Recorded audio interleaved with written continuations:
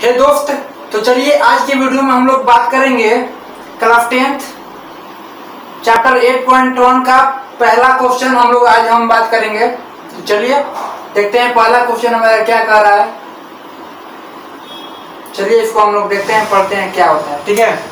चलिए वीडियो को शुरू करते हैं। पहला क्वेश्चन हमारा कह रहा है, त्रिभुज ए बी सी में। त्रिभुज ए बी सी में जिसका कोण बी क्या है? समकोण है। मतलब कि एक ये त्रिभुज है, इस त्रिभुज ए बी सी में कोण बी जो है हमारा समकोण है। और हमारा ए बी का मान दिया है चौबीस सेंटीमीटर और बीसी का मान दिया है सात सेंटीमीटर। ए बी का मान दिया है चौबीस और बीसी का मान दिया है सात। और ये जो है एसी भुजा है एसी भुजा का मान हमको नहीं दिया है। मतलब कि ये जो कण है, कण का मान हमको नहीं दिया है। अगर थीटा इसको मानते हैं तो ये लंब ये हुआ लंब। बीसी का मान दिया है लंब दिया है और ये आधार दिया है और ये कण हमको नहीं दिया है। तो आगे कहा निम्नलिखित का मान ज्ञात करिए। तो निम्नलिखित का मान ज्ञात करने से एक समकोण त्रिभुज में तीनों भुजाओं का मान हमको पता होना चाहिए। तो हमको पता है सिर्फ़ ए बी भुजा और बीसी भुजा एसी भुजा का मान हमको पता नहीं है। तो पहले हम लोग एसी भुजा का मान ज्ञात कर, करेंगे। तो हम बात बताए थे पाइथागोरस प्रमेय के अनुसार। पर हम बताए थे पाइथागोरस प्रमेय के अनुसार समकोण त्रिभुज में कर्ण के स्क्वायर बराबर लंब के स्क्वायर प्लस आधार के स्क्वायर या आधार के स्क्वायर प्लस लंब के स्क्वायर होता है। हम बताए थे पाइथागोरस प्रमेय के अनुसार अनुसार कर्ण के कर्ण के स्क्वायर बराबर। हम बताए थे पाइथागोरस प्रमेय के अनुसार कर्ण के कर्ण के स्क्वायर बराबर आधार के स्क्वायर प्लस लंब के स्क्वायर मैंने पहले बताया था, आप देख लीजिएगा।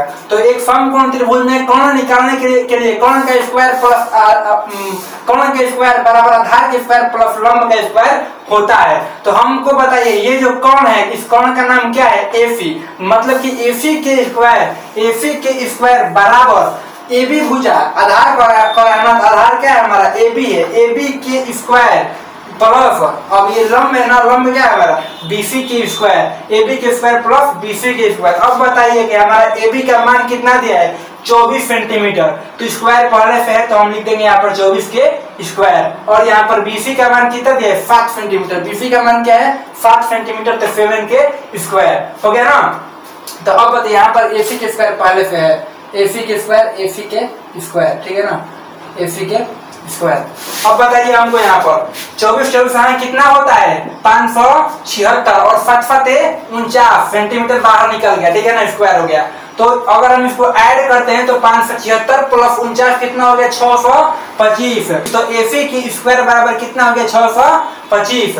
तो अब देखिए यहाँ पर एसी के एसी बराबर रूट छह सौ पच्चीस है। ये क्यों है? क्योंकि जब ये एसी के स्क्वायर जब रूट था स्क्वायर था तो हम, आपको पता है कि स्क्वायर जब हटता है तो बराबर के इधर रूट आ जाता है। जब स्क्वायर हटता है तो बराबर की इस पर रूट आ जाता है। तो देखिए यहाँ पर तो देखिए यहाँ पर एसी के स्क्वायर था, लेकिन अब स्क्वायर है नहीं। स्क्वायर के बदले ये क्या आया है?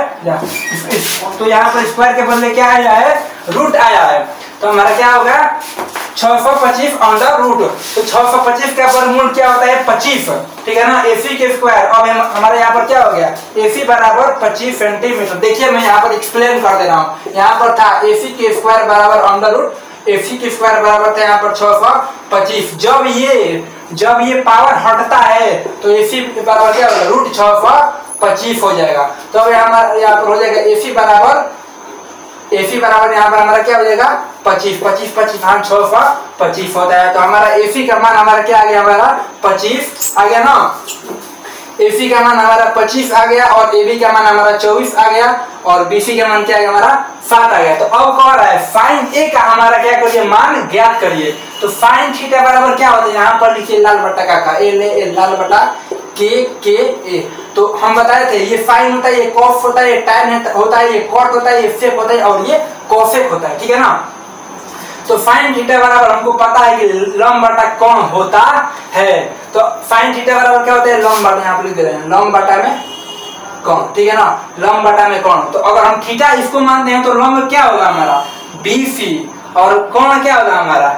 ए सी तो साइन ए बराबर बी सी बटा में ए सी लंब बटा में कौन? साइन ए बराबर बीसी बटा में ए सी बी सी माने लंब बटा में कौन? तो तो अब बताइए यहाँ पर बीसी का मान कितना दिया है? सात सेंटीमीटर और एसी का मान कितना दिया है? पच्चीस एसी का मान कितना दिया है? पच्चीस सेंटीमीटर तो सात बटा में पच्चीस। और कह रहा है कॉफ ए का मान ज्ञात करिए। मतलब कॉफ ए तो इसी कोण यही रहेगा। अब केवल कॉफ का मान निकलना है। तो कॉफ थीटा बराबर क्या होता है? आधार बटा में कौन? कॉफ थीटा बराबर क्या होता है? आधार बटा में कौन? तो इस कोण के लिए, इस थीटा के लिए आधार बाटा में कौन तो आधार क्या होगा? ये होगा ए बी और कौन क्या होगा? ए फ़ी तो ए बी बाटा में ए फ़ी ए बी बाटा में ए फ़ी तो हमारा ए बी का मान कितना दिया है? चौबीस और ए फ़ी का मान कितना दिया है?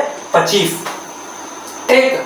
अब कह रहा है कि साइन फ़ी और कॉस फ़ी का मान ज्ञात करिए। तो सी का बात कर रहा है, थीटा हमारा ये हो गया, कोण हो गया, ये कोण हो गया। ये कोण सी का बात कर रहा है तो सी के सामने की भुजा ये लंब होती है। ये जब थीटा इसको मानेंगे तो इसके सामने की भुजा लंब होगी और ये क्या होगी? आधार होगी। तो कह है फाइन सी तो फाइन थीटा बराबर क्या होता है? हमारा लॉन्ग बाटा में कौन? तो इफ़ थीटा के लिए लंब क्या होगा? ए बी और कौन क्या हो गया? ए फ़ी तो यहाँ पर आइए। ए बी बटा में ए फ़ी और ए बी का मान कितना दिया है हमारा? चौबीस। और कौन? ए सी का मान कितना दिया है? पच्चीस। अब कह रहा है कॉफ फ़ी का मान ज्ञात करिए। तो अब बताइए हमको कॉफ फ़ी बराबर क्या होता है? आधार बटा में कौन? अगर हम थीटा इसको मानते हैं तो ये सामने की भुजा लंब होगी और ये क्या होगी? आधार। और ये कौन? कभी भी बदलता नहीं है। तो कह रहा है कॉफ थीटा बराबर आधार बटा कौन? आधार क्या है हमारा? बीसी बीसी बाटा में कौन क्या है? एसी बीसी बटा में एसी ठीक है ना? बीसी का मान क्या दिया है? सात, और एसी का मान क्या दिया है? पच्चीस। तो इस प्रकार से हमारा sine A cos sine A sine C cos A cos C का हमारा मान क्या होता है? ज्ञात हो जाता है।